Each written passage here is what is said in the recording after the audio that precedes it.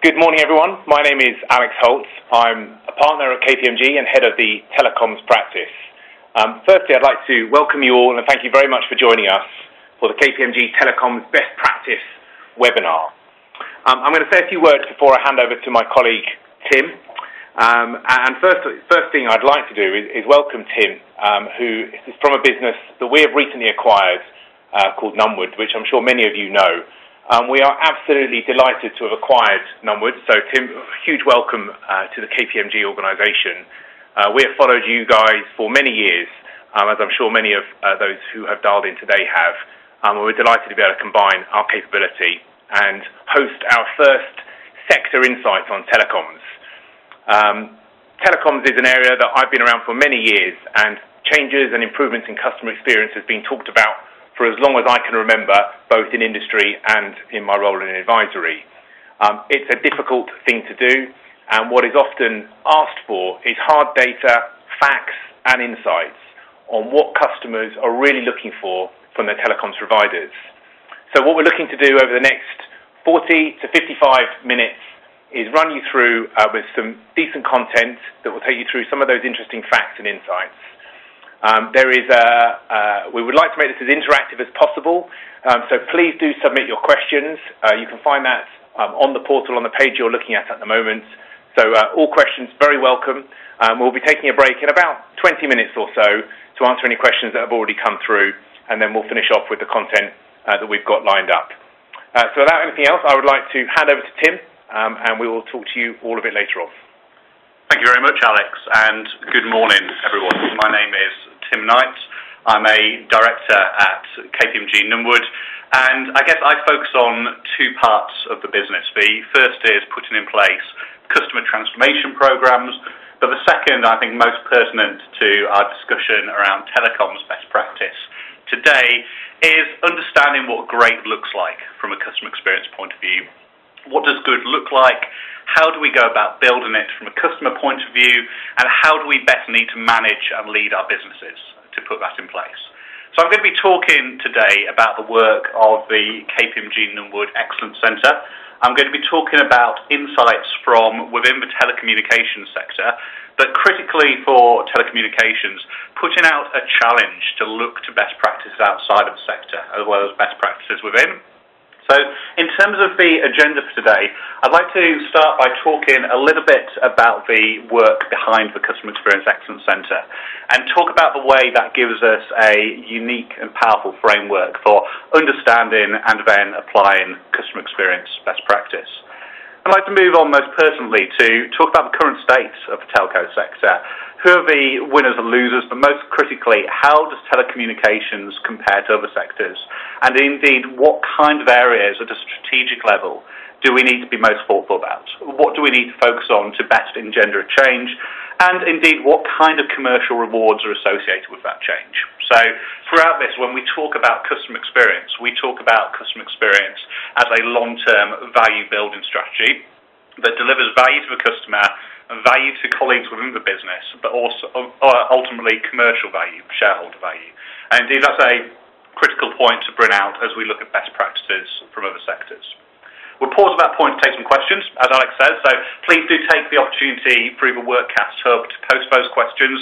We'll be picking those up as we go along. We'll have an opportunity after the end of the second question, section to cover up a few of those. And indeed, if there's more time at the end, we'll take further questions afterwards. Uh, third section will focus on looking at leaders elsewhere. So we're going to look outside of telecommunications at that stage and look at some specific examples of organisations that are tackling the kind of challenges that telcos currently face. And then finally, let's look at the steps needed to transform. How do we go about getting there? What is a reasonable and timed plan to transform an organisation which may be facing significant customer experience challenges into an organisation which is a customer champion? So to start, everyone, if I could please, to talk a little bit about the Customer Experience Excellence Centre. This is a part of the KPMG Nunwood organisation which has been in play for over six years now. And I guess our most fundamental question has been, how do we go about defining the nature of customer experience best practice? How do we go about then understanding how that can be applied to other organisations? And how do we ultimately go about professionalising and commercialising customer experience?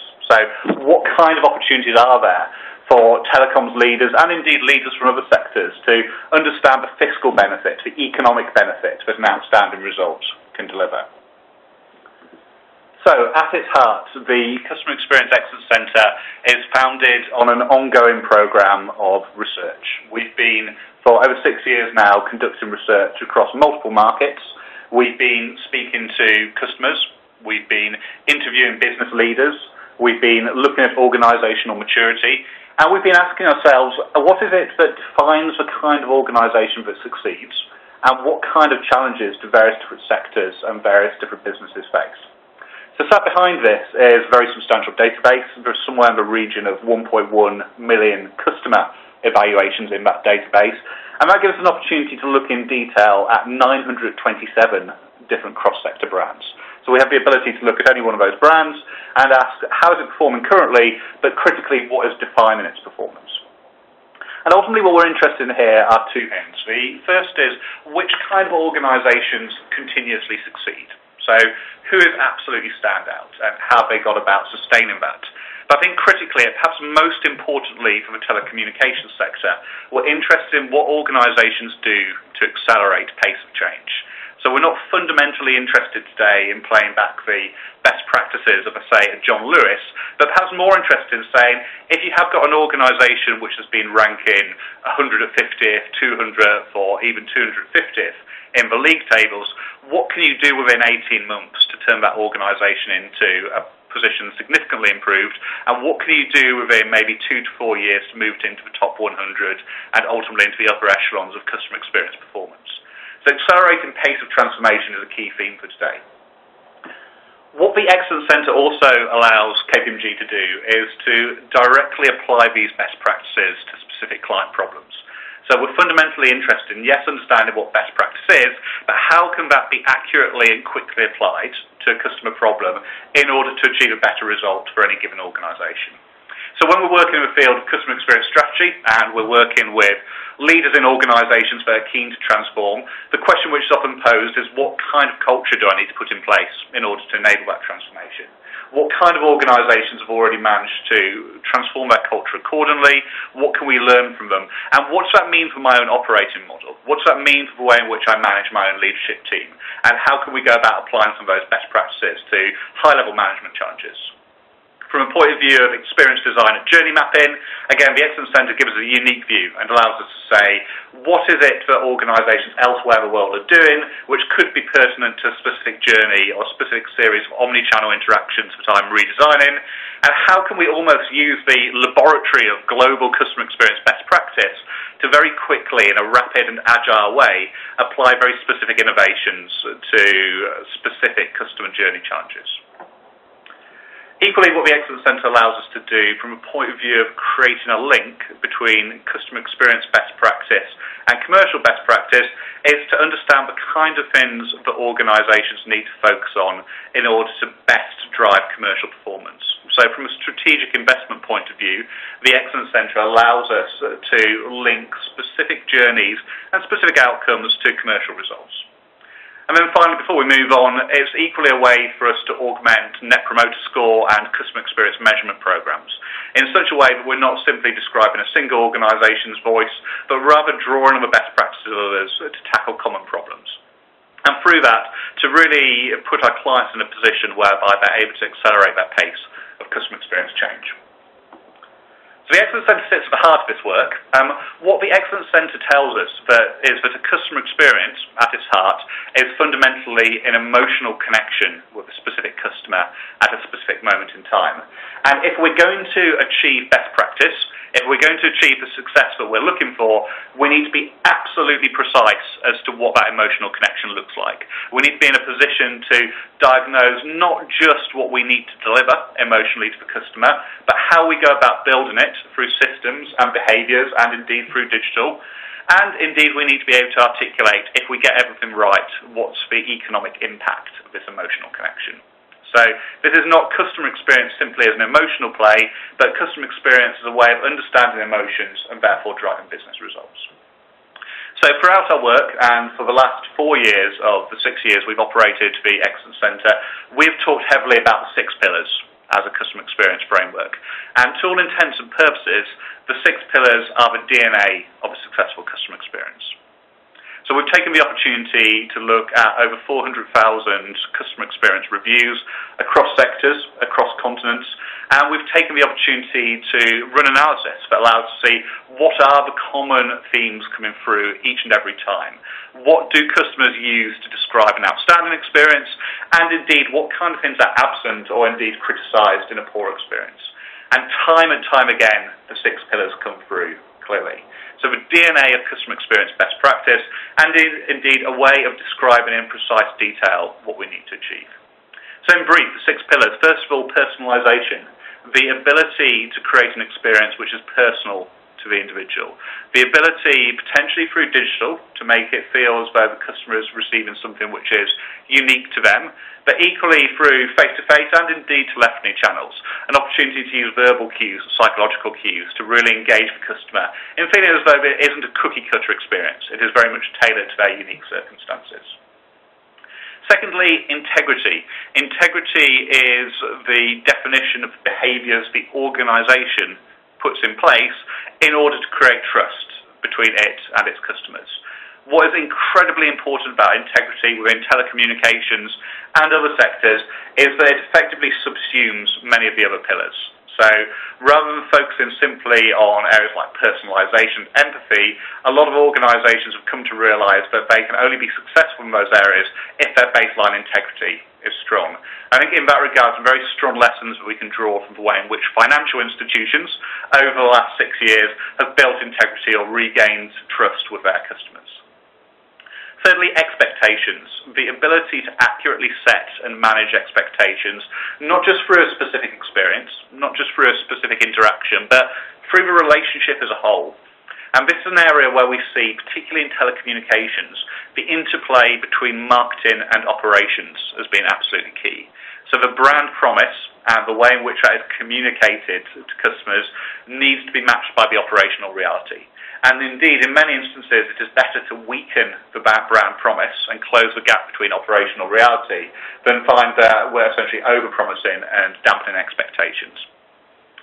Fourthly, resolution. Resolution is a characteristic of all great organisations that recognise that fundamentally things will go wrong. You know, great businesses make mistakes, but the hallmark of an outstanding customer business is that they have a resolution culture seeded through everything they do.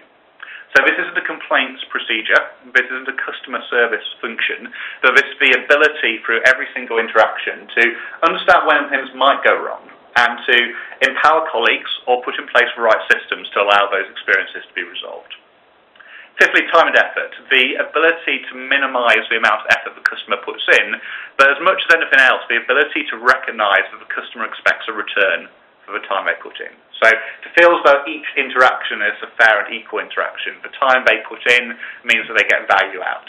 And not necessarily time and effort simply from a point of view of making things happen more quickly or indeed reducing absolute time, so for instance contact centre metrics like call waiting and the overall dwell time, but ultimately the way in which we manage that customer through the process and how we communicate throughout. And sixthly and finally, empathy. A very, very difficult pillar for many organisations to pursue, the ability for colleagues and indeed for systems to mimic colleagues' behaviour, um, to essentially understand the customer's unique circumstances and put themselves in that customer's shoes. And again, a bit like personalisation, really at the very apex of the six pillars, one of the areas that organisations often aspire to put in place, but find it very difficult to do so before other pillars have first been implemented. So the six pillars creates a framework for us to look at not just the telecommunications sector, but indeed best practices from other sectors. Crucially, as you would expect, the six pillars can be linked very clearly to key customer outcomes. So we do a lot of work to look at the extent to which they're driving advocacy, whether you're looking at that through net promoter score or indeed other metrics. And equally, the six pillars have very strong correlations to driving loyalty what we tend to see is that across the board, personalisation comes through most strongly. So the yellow segment on these diagrams here in driving both advocacy and loyalty. But equally, we can see the important role of integrity and time and effort in pushing things forward overall. However, what is, I think, perhaps most important in understanding the six pillars is not the extent to which they drive the slightly abstract measures of NPS or indeed loyalty, but indeed the extent to which they drive financial value. So, what we have looked at this year, and this is a piece of analysis we've recently run in both the US and the UK, this particular piece looks at the UK markets, is the link between customer experience best practice and indeed financial performance. So this particular piece of analysis looks at the UK top 100 brands. It looks at the way in which they've performed over the last five years, and it looks at the FTSE 100. And the finding is pretty startling and very strong. What it shows us is that the top 100 customer brands have achieved double the rate of revenue growth of the FTSE 100 and indeed those organisations which have managed to occupy the absolute apex of the pyramid, those top 10 brands who are the UK customer champions, have on average added £43 million more to sales every year compared to the other excellent brands in positions 11 to 100. So again, a very clear message coming through for customer experience professionals and business leaders that by mastering the six pillars and achieving customer experience success, we're not only in a position to understand how to create a better relationship with our customers, but there are very real and tangible financial results for doing so. So, with this framework in mind, let's move on at this stage to understand the way in which the telecommunications sector has performed. I think the first point to bring out is, as is probably no surprise to many of us who work within telecommunications and tackle customer data and indeed customer challenges on a daily basis, telecommunications struggles to perform as strongly as other sectors within the UK. So if we look at this most recent data from 2015, we see the telco sector clearly occupying ninth place we are currently just ahead of utilities and indeed the public sector in that regard, sitting behind uh, logistics and indeed all other sectors. Perhaps what is most worrying or most challenging for telecommunications is that the pace of change, the pace of transformation, has not perhaps matched other organisations within the UK. So over the course of the last year, from when we conducted work in 2014 through to this most recent analysis in 2015, we've seen every single major telco brand decline within the customer experience rankings. And overall, the sector has slipped by 1%. So we're seeing at this moment in time that despite a will to transform, transformation within the telecommunications sector is not present and not being felt by customers. So let's move on to look at some of the reasons why. And in our conversations with executives and leaders within the sector, a number of points are frequently made, and we see these resonating to a degree in our own data. The first is, and without going into absolute specifics of customer journeys, the first is the challenge of transiting from perhaps what could be characterized as an engineering and indeed acquisition led culture to a culture which is genuinely customer centric. So uh, we know, for instance, that major telcos, not just in the UK, but indeed in Australia and North America, are continuously grappling with this challenge. How do we go about achieving customer centricity, not as a set of principles, not as a set of investments, but as a cultural theme which encapsulates a way in which everyone across the business works? A huge challenge, and indeed one which other sectors are equally grappling with at this moment in time. Customers tell us they find the journey to be incredibly high effort. So if we look at the 18 to 24 month, you know, engaging, re-engaging journey that many of our businesses struggle with, customers find that to be incredibly laborious. They find it to be high intensity. And whilst there are emotional high points, which we'll all be very familiar with to that customer journey, equally, customers report that the amount of time and effort they need to put in to managing their relationship and managing that continual re-engaging with uh, telco, uh, that amount of time and effort to be disproportionate to the value they feel they're getting out. So taking time and effort out of customer journeys is given as a critical reason. And equally, when we talk to colleagues across the sector, um, a number of points are made around the fundamental complexity of the product, um, often talking about the extent to which current quad play offers need to be rolled out and depersonalised customers, and indeed future product complexity as we see the explosion in data consumption, the explosion in potential customer personalization, and indeed horizon technologies such as the Internet of Things add into future complexity. And this is a reason which is often cited by telco businesses as almost an impairment to the way in which customer experience success can be achieved. And whilst we see that there is almost certainly an element of truth within that, what we almost universally observe is that the complexity and the challenge within the telecommunications sector is perhaps in many instances no greater than the complexity and challenge inherent in other sectors. So if you're running an airline and you have the operational complexity of moving teams around the world and moving sophisticated aircraft and equipment around the world, if you're running a complex financial institution dealing in investments and derivatives and such like, again, similar issues of complexity coming through. And I think one of the main impairments that any given sector or any given organisation can face is the perception that there is a glass ceiling to customer success.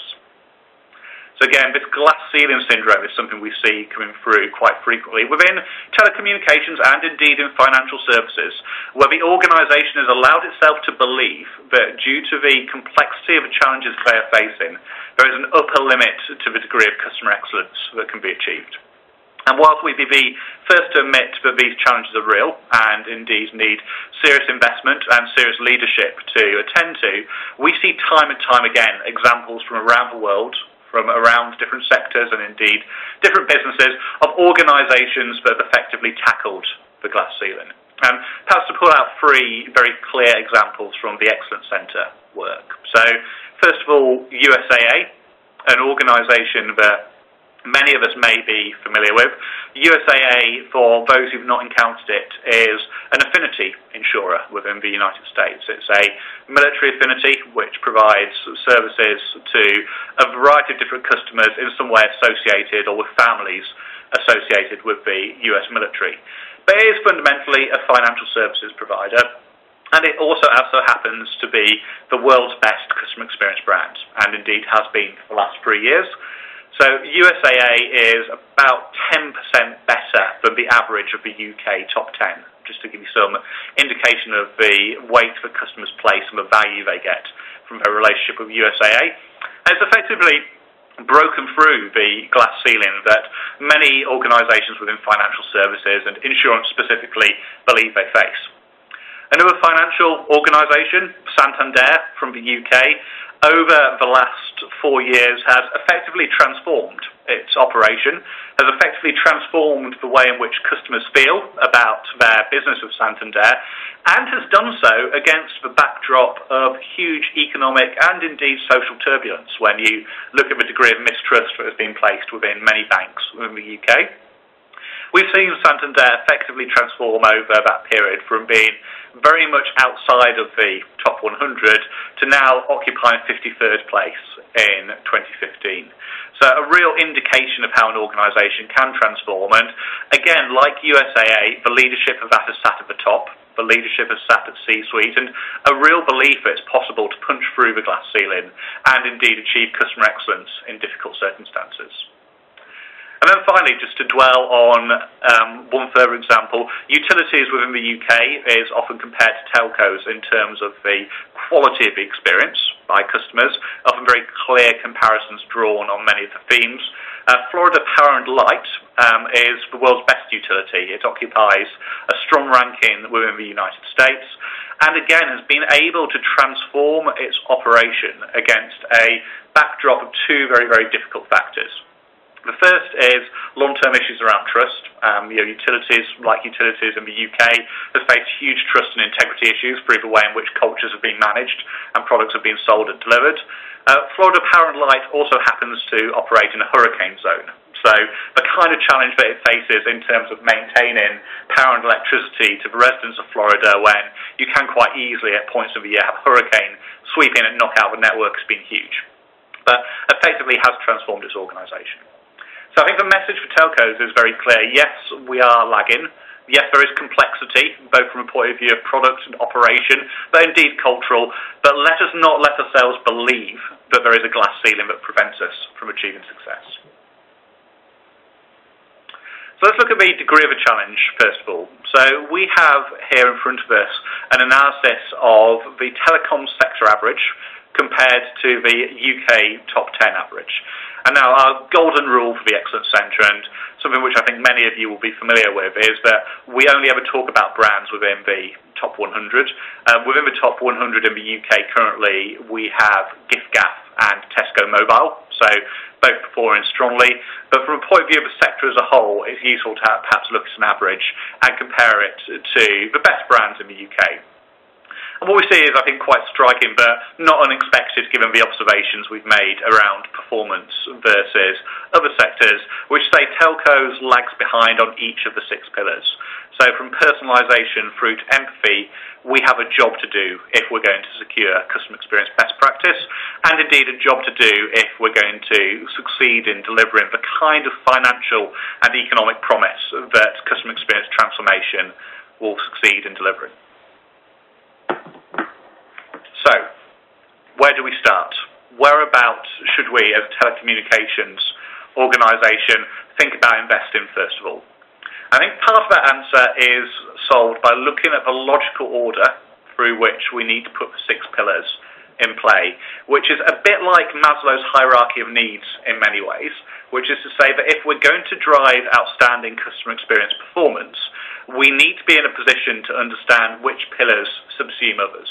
And again, this is something that we see a lot of organisations grasping with but perhaps failing to implement, which is to say they focus heavily on creating very personal, very empathetic experiences in certain channels, or they may have certain very sophisticated and powerful digital offerings, but some of the more basic emotional needs, integrity and resolution and expectations, are perhaps not fully met. So what we see is that within telecommunications, like many sectors, there is a logical order through which these pillars should be implemented. And the question for any telco, and indeed we'd be happy to speak to any customer leaders or indeed business leaders within telecommunications about their specific data and their specific scores, but the general challenge for telcos is to first of all focus on integrity and resolution and expectations, which will drive us up the NPS scale, will drive us up the customer experience scale, before focusing on personalisation and empathy. So understand how we can build trust and understand how we can see problem solving and resolution throughout the organisation before we start to focus on absolutely personalising the experience and creating great empathetic connection. That's not to say we can't push on multiple dimensions at once, but let's focus on where we're going to get the most foundational value first and ensure that we're not driving cost and driving unnecessary expenditure by putting in place initiatives that aren't going to deliver the kind of experience return we're looking for. There's also a point about understanding where certain emotions need to come through most clearly.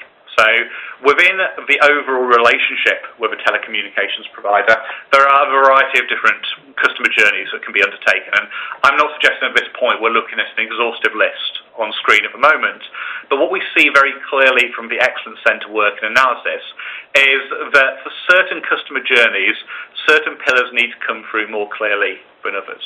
So if you dwell on the initial point around integrity, integrity needs to come through very clearly in the joining experience. It's a critical time for any telecommunications provider. Now, the challenge should be to what extent are the ways in which we're communicating, messaging, language, the way in which colleagues look towards creating trust building events, to what degree are they seeded within the joining journey, and to what degree are we maximising our opportunity to establish integrity in those early stages of the life cycle.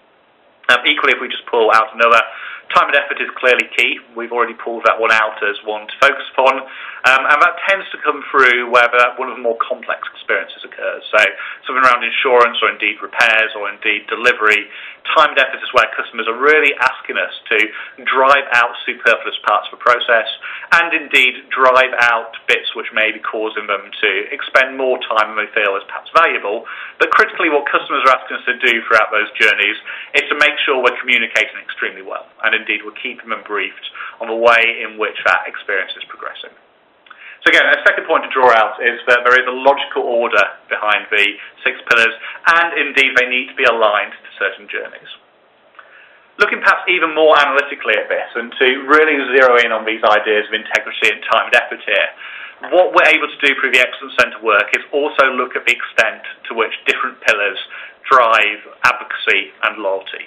So what you see on screen in front of you at the moment is a matrix which simply maps the pillars against the extent to which they impact on NPS and loyalty in this instance, so from left to right, and indeed the extent to which the sector performs versus the study average. And whilst I think you will note on perhaps one of the axes that all of these lag behind the study average, we can quite clearly see that integrity, time and effort are not just relatively more important, but indeed are also areas of relative underperformance. So I think one clear message is coming through from this, both from a point of view of a natural order of implementation, where we should seek to put certain emotional connections in place, and indeed where we need to focus. The clear message which is coming through for telcos on average is that focusing on integrity and focusing on time and effort will be the quickest routes to jumpstarting transformation. And what does that mean in detail? We'll look at these at the general level. We'll then pause for some questions, then look at some specific brands.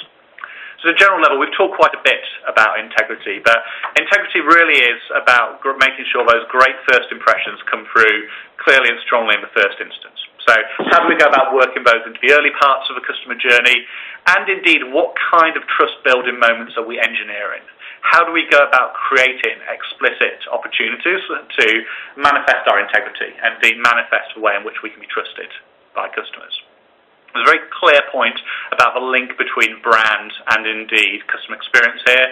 Organisations which are perceived as having great integrity are really perceived as standing for something, standing for something more than profit. And this needs to be something which is seen not just through marketing, but indeed through the culture of the organisation and indeed through the way in which those organisational values are made manifest by people. And again, people are absolutely key here. People who are clearly competent are required to build integrity.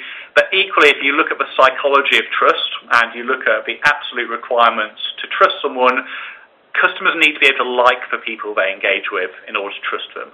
And again, our ability to really kind of drive that through the way in which our people are trained to engage with customers is absolutely key. And then finally, perhaps most fundamentally, keeping our promises and delivering upon them throughout the customer relationship, not just at the start of the life cycle. And if we can move on to the next slide, time and effort um, is again a really key area that we've touched on already. That fundamentally based on how do we go about making customers feel as though what they're putting in is equal to what they're getting out. And indeed, they're not having to expend unnecessary time and effort.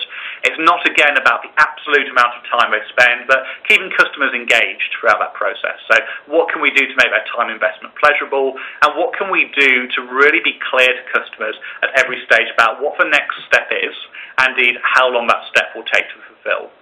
And from an experience design point of view, from a point of view of our capability to build new customer journeys and indeed transform them, we need to be systematically looking at ways we can take out unnecessary steps. And particularly in a complex omni-channel environment, particularly where we now have strong interplays between our contact center operations, our digital assets, our app-based assets, and potentially also retail estate in some instances, how do we go about making sure those are not simply mono-channel unnecessary steps, but from an omni-channel point of view, we really understand that full interplay and we're making those links as seamless as possible. So, at this point, we have seen that we have clear areas of focus. We've pulled out integrity, at time, and effort. What we're going to move on to do in a couple of minutes is to look at some organisations from outside of telecommunications who are tackling these problems. But I wonder, Alex, if at this point we have any questions that we might pause for. Yeah, thank you, Tim. Yes, no, we do have a few questions. Um, so why don't we, we split those up? Um, even though you've been talking for 20 minutes, I'm going to throw the first one back at you, um, and then we'll, we'll divvy them up. Um, and one of the, the first questions come through, we've had a couple along the same theme, um, which is how does the importance of the six pillars change depending upon the type of company or indeed the customer, whether it's a B2B mm-hmm. or B2C client? So I think you know, we've got a few questions along this line, but really it's around, you know, for, for, the, for the people that are listening in at the moment, how do you think about the six pillars, whether you're in B2C or B2B mode? It's an excellent question, and I think whilst this particular piece of work is based on B2C, we see the six pillars working effectively and meaningfully in a B2B or enterprise environment. What we see, I think, is perhaps quite interesting, that the fundamental importance the fundamental way in which you create an emotional connection with a person, be they a consumer or a consumer as a business person, doesn't fundamentally change. So personalisation to that business's specific needs continues to be incredibly important. Integrity still subsumes everything. Um, however, the way in which you create these emotional connections in a B2B or enterprise environment is very different. So the extent of your integrity, the way in which you back that up to consumer and how you communicate it might be very different if you're communicating to a financial director or technical controller within an organisation. So what we've been doing a lot of work around is understanding not just the pillars, but within each context, what is the specific behavioural framework that sits behind those pillars? And that fundamentally changes from a B2C to B2B environment. Yeah. Great. Thank you, Tim. Um, another question around the role of uh, product and proposition development. So the question here, um, and uh, I'll take a punt at this one, and then um, you can jump in if you uh, have anything to add. So the question here is, what can the product and proposition development team do to help with the performance of the pillars? And I think that this is a, it's a great question, and, and it's particularly pertinent to the industry at the moment. There's a lot of talk around agile product development, you know, the industry as a whole has struggled to get products out into the market um, in a short time frame. Um, different organisations have different versions of what short is. Uh, I'll tell you, they're all very different to how they see it on the West Coast. Uh, if they're a, they're a startup, which will be thinking days, telcos tend to think in weeks, often months, and uh, sometimes seasons. Um, so um, I think one of the things that would be great to, to look at is you know, and I think the other thing around the six pillars is coming back to the organizational brand. Um, so in terms of the company with whom you're working for um, and the clients you're trying to serve, at the heart of the product piece is to put the customer at the center of the service or product that you're developing. Um, and what we would hope is the six pillars give you a framework by which you can see that.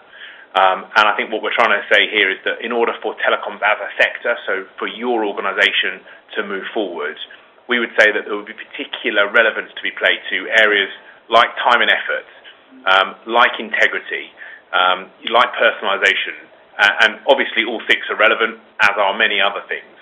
But in terms of the things that we're seeing that would shift the dial on NPS, which is a key determinant of market share, um, we would say that by looking at your product, how are you going to make this seamless in terms of interaction and buying it and being served on it? Um, what's your approach to welcoming a customer when they take on a new product and service? Done very well in many other industries, not always done brilliantly in the telecom sector in terms of onboarding. So how from the first moment are you doing that? Um, so that would be my thoughts. Tim, know if you have anything to add on that? No, I'd, I'd absolutely agree with that, Alex. And I think to run the risk of overquoting Steve Jobs, who famously said, you have to start with the customer experience and work back to the technology. And I think the fundamental challenge for telecommunications, particularly where engineering cultures are very strong, is that often the flow works the other way. Yeah. And what we have attempted to create with the six pillars is not just a framework for understanding customer experience, but also a framework for managing collaboration between parts of a business. And what we see time and time again, particularly in the States, Alex, as you say, the organisations which are five, six years ahead with omni-channel and really kind of pushing the rate of change in agile development, is that everyone from proposition through to marketing, through to IT, operations, even HR sit around the customer table. And that ability to use the six pillars, a unifying vocabulary for all of those functions, becomes a real key to unlocking change. Yeah. Um, so we'll do, we'll do one last question now, but please do keep uh, firing them in. Uh, uh, a topical question. Um, so, what impact do you think the recent cyber security breaches has had on customers? Um, you know, I think from my perspective, it's a, it's a, a, great question. It's something that's very hot for the industry right now, and not just for telecoms. Um, I think what we're seeing here is that cyber security and data protection is at the core responsibility for the sector and for individual organisations. This isn't a, a periphery activity. Um, and we'll touch on briefly in terms of the telecom survey we recently did, which talks about data trust uh, and security. But I think it, it is clear that when you highlighted almost ahead of what's happened in the last couple of weeks, something like integrity, which is really defined about being trustworthy and engendering trust, in order for telecoms customers to want to engage fully with us as, a, as organisations and as a sector, they need to trust. Uh, they need that trust in us. And I think that as a sector, we've got to do a very good job of responding to the recent crisis, really, by, by building that trust back up. I absolutely agree, Alex. And I think the reality is that cybersecurity is not a cost associated with mitigating risk, but it is rather an essential investment in the customer experience and therefore an essential investment in securing growth. And we see throughout times of crisis, and we've seen this within certainly the financial sector, that integrity, you know, trustworthiness grows even more greatly in status. So from this work, which was conducted six weeks ago, we're in a position to already articulate the importance of integrity. I think given some of recent events and some of the noise in the media, what we can almost certainly surmise the integrity will be even more important and having a firm and robust and public cybersecurity strategy will be fundamental in ensuring customer-led growth. Yeah. So, well, thank, thanks for that. So please do keep the questions coming in. We, are going to go for about another four, 15 minutes or so. Um, and uh, the next piece we're just going to walk you through is some examples of best practice. So, uh, Tim, back to you. Fantastic. Thank you, Alex. We'll move through this at some pace, talk a little bit about a few brands that may be familiar to some of us, maybe less familiar, and indeed then move on to look at the kinds of things that an organisation should be doing to best unlock pace of change. I think in terms of focusing in on those two themes of time and effort and indeed integrity, to pull out a very familiar brand first of all, First Direct, one which in 2014 was actually top of the UK customer experience rankings, has slipped down into second place this year, but has consistently maintained an outstanding level of performance.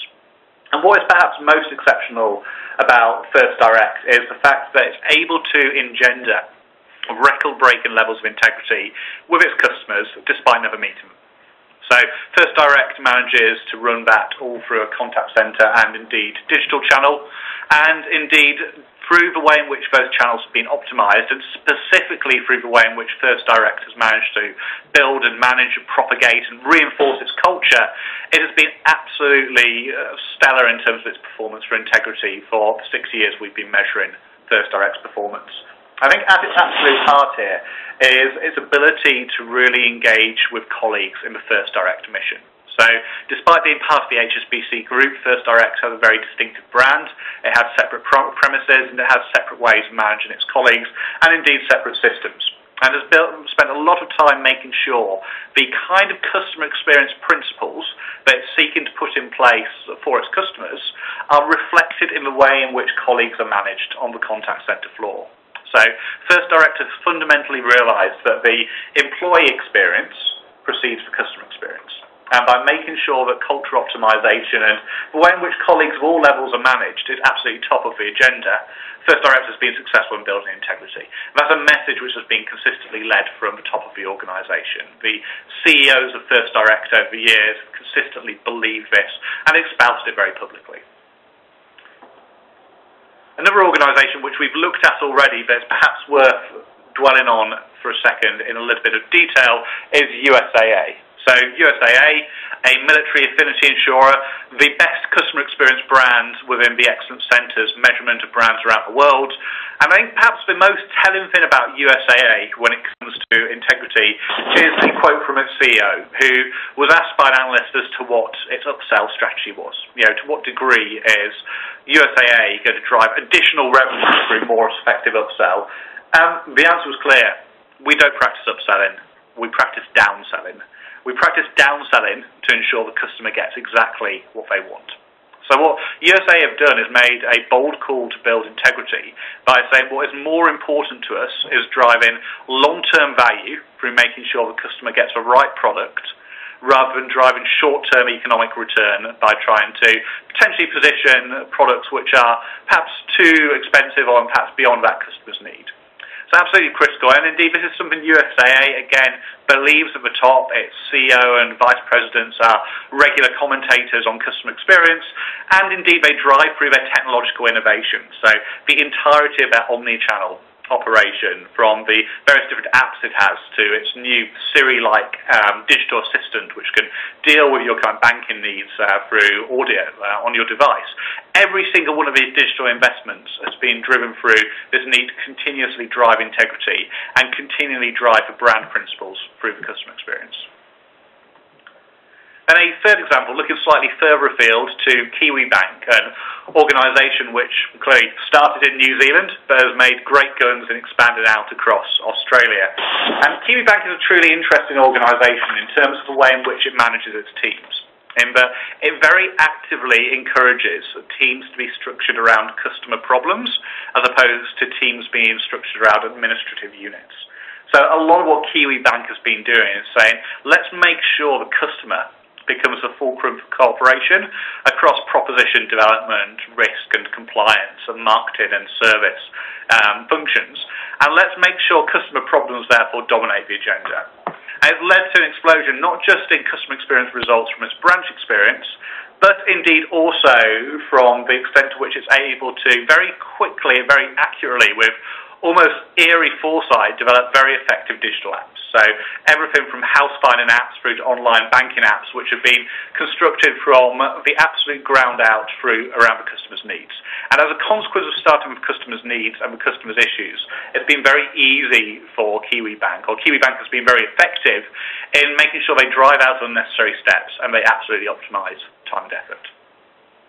And then finally, to look at a brand that a few of us may have come across, Hipmunk, um, similar to Kiwi Bank in some regards, but this operates within the travel industry.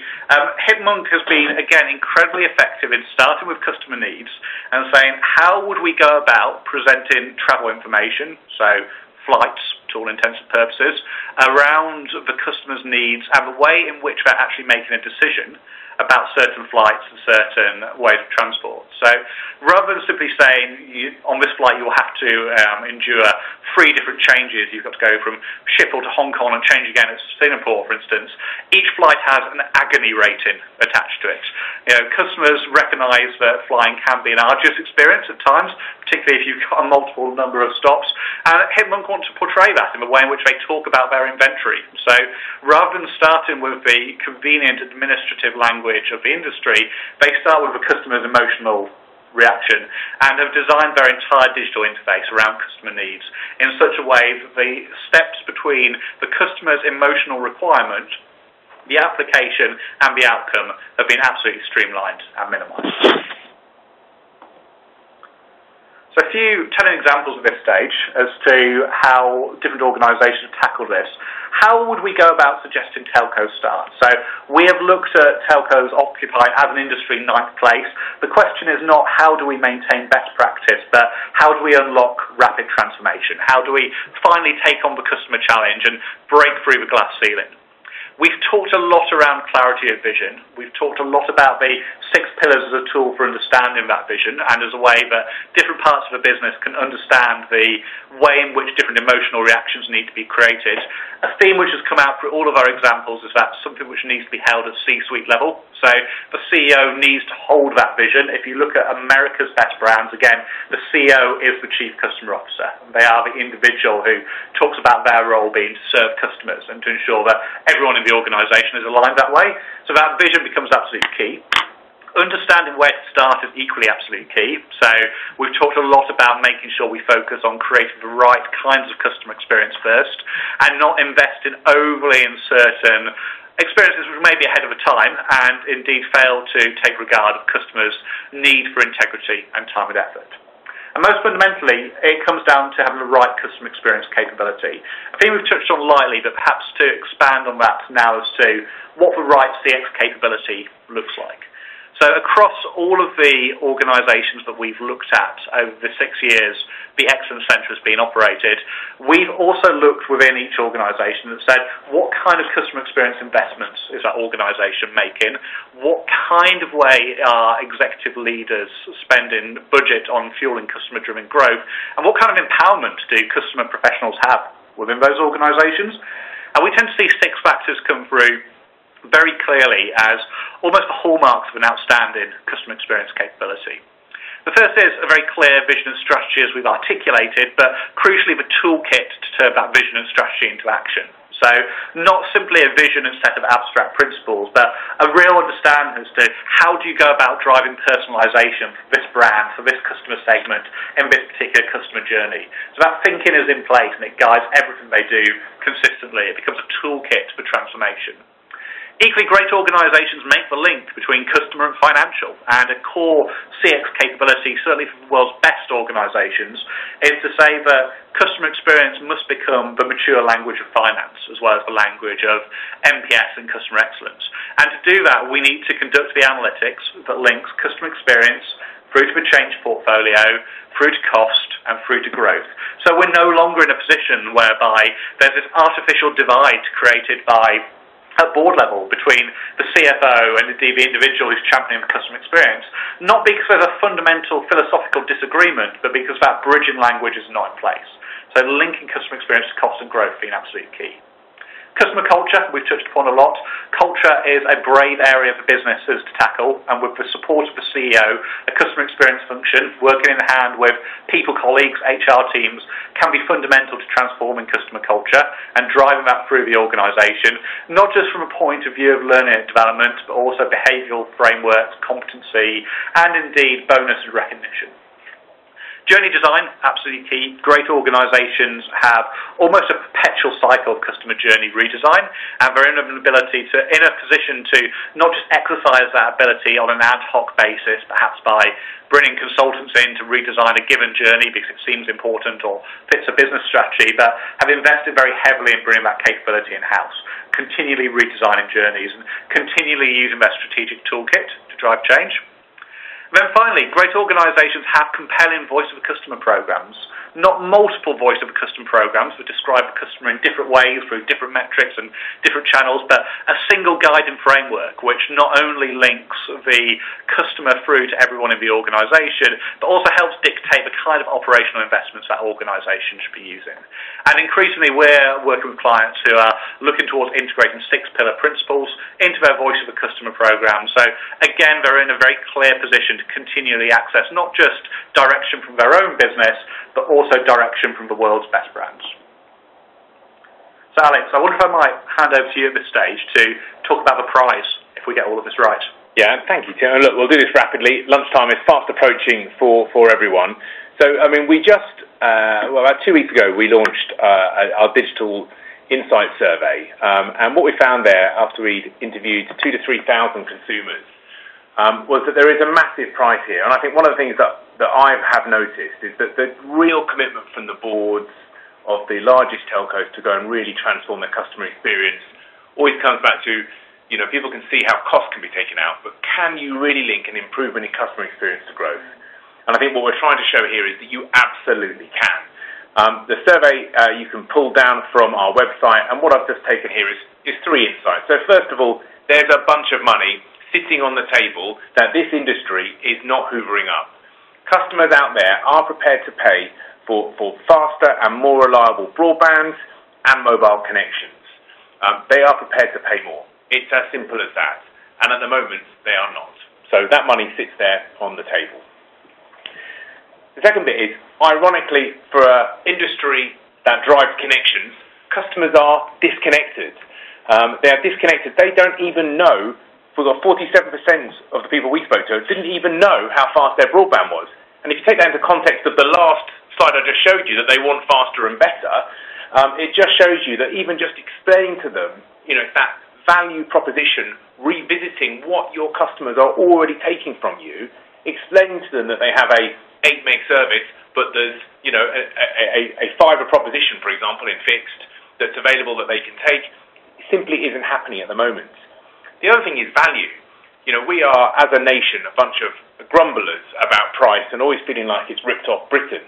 But look at the stats here. Um, you know, the cost, the average price of broadband has fallen by 48% over the last eight years. That is not understood and not known by your customers.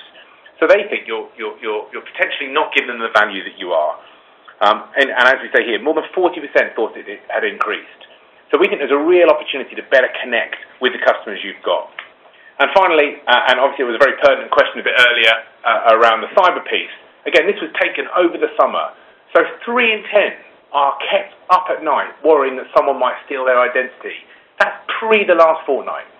We are going to be running this every six months. So, you know, if we ran that right now, I wonder what that number would be. And I think all that does is speak to, but all of those three areas talk back to the, the time and effort that customers have to have to take at the moment in order to engage with their service providers. Um, and in terms of integrity, well, that one says it all. Um, it's really, really at the heart of the engagement.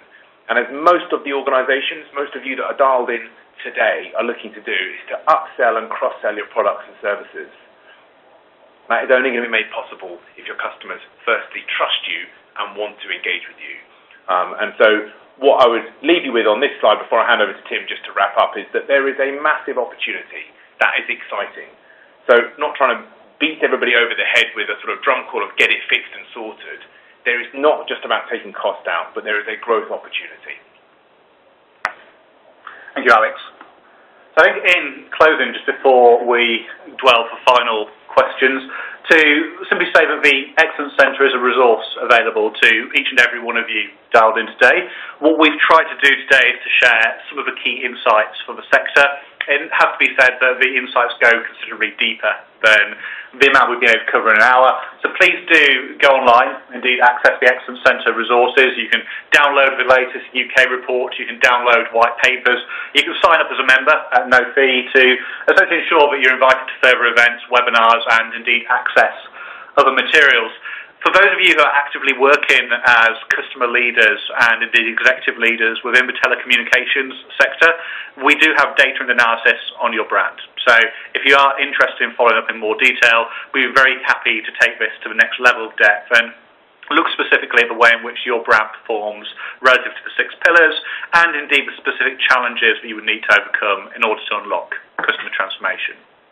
So at that stage, uh, we're almost on the hour. Do we have time, Alex, for any further questions, or we effectively we've got one time? final final question, Tim, but you're going to have to be brief in your answer, uh, given we're out of time. But um, it's my organisation is looking to use NPS. Are the six pillars a replacement for this, or should they be used alongside? I mean, 20 seconds. Um, NPS is a great metric for unifying organisations around the customer, but what we tend to find is that in order to move on to the next step of customer maturity, in order to move on to the next level of customer transformation, adding further context to NPS is required.